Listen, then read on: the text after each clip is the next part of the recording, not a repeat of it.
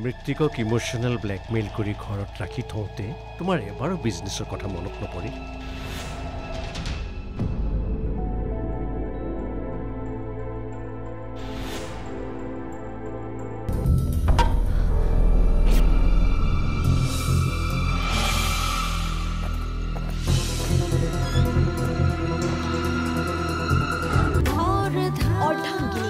আজিৰ খণ্ডটি উপভোগ কৰক নিশা আঠ বাজি ত্ৰিছ মিনিটত।